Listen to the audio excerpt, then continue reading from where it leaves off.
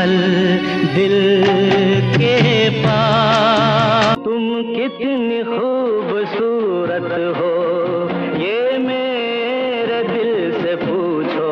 तुम्ही मेरे मंदिर तुम्ही मेरी पूजा।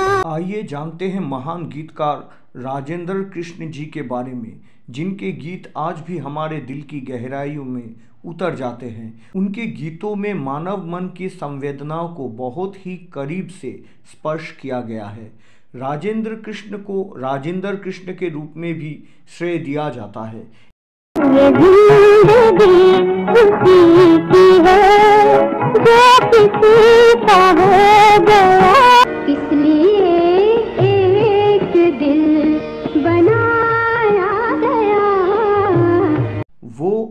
गीतकार के साथ साथ एक कवि और पटकथा लेखक भी थे। राजेंद्र कृष्ण का जन्म 6 जून 1919 को गुजरात ज़िले में जलालपुर, जट्टन में एक दुग्गल परिवार में हुआ था। यह जगह अब पाकिस्तान में है। जब वे आठवीं कक्षा में पढ़ रहे थे, तब भी वे कविता की ओर आकर्षित थे।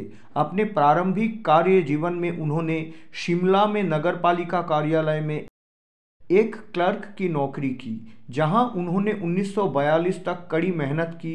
उस अवधि के दौरान उन्होंने बड़े पैमाने पर पूर्वी और पश्चिमी लेखकों को पढ़ा और कविता हर शाम आँखों पर तेरा चल लहराए। इन धड़कनों से पूछो तुम क्यों दिल है तुम पे दीवाना?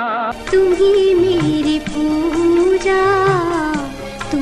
देवता हो। फिराक गोरखपुरी और एहसान दानिश की उर्दू शायरी के साथ साथ राजेंद्र कृष्ण जी सुमित्रा नंदन पंत और सूर्यकांत त्रिपाठी यानी कि निराला के लेख और रचना के भी कायल थे। मैं सांस लेता हूँ तेरी खुशबू आती है। वो अपने स्कूल के दिनों में कविता की ओर आकर्षित थे। राजेंद्र कृष्ण 1940 के दशक के मध्य में स्क्रिप्ट राइटर बनने के ख्वाहिश लेकर मुंबई चले गए। उनकी पहली स्क्रिप्ट फ़िल्म जनता के लिए लिखी गई थी, जो 1947 में रिलीज़ हुई थी। बतौर गीतकार उनकी पहली फ़िल्म थी जंजीर। ये भी 1947 में ही रिलीज़ हुई थी। उन्हें पहली बार मोतीलाल और सुरैया अभिनीत फ़िल्म आज की रात की स्क्रिप्ट और गीतों के लिए जाना गया। ये फ़िल्म रिलीज़ हुई थी सन 1948 में। महात्मा गांधी के हत्या के बाद राजेंद्र कृष्ण ने सुनो सुनो ए दुनिया वालों, बापू की ये अमर कहानी गीत लिखा। ये गीत मोहम्मद रफ़ी साहब ने गाया था और हुस्नलाल भगत राम द्वारा संगीतबद्ध किया गया था और ये बहुत लोकप्रिय हुआ था। राजेंद्र कृष्ण जी ने सन उन्नीस सौ उनचास में बड़ी बहन और लाहौर फ़िल्मों के साथ एक गीतकार के रूप में भी सफलता का स्वाद चखा। वो तमिल भाषा भी जानते थे। और उन्होंने ए वी एम स्टूडियो की फ़िल्म के लिए 18 स्क्रिप्ट लिखी। राजेंद्र कृष्ण, संगीतकार सी रामचंद्र के साथ अपने जुड़ाव के लिए मशहूर थे। उन्होंने शंकर जयकिशन, मदन मोहन, हेमंत कुमार सज्जाद हुसैन, सचिन देव बर्मन राहुल देव बर्मन एस मोहिंदर, चित्रगुप्त, सलील चौधरी और लक्ष्मीकांत प्यारेलाल सहित कई अन्य संगीत निर्देशकों के साथ काम किया।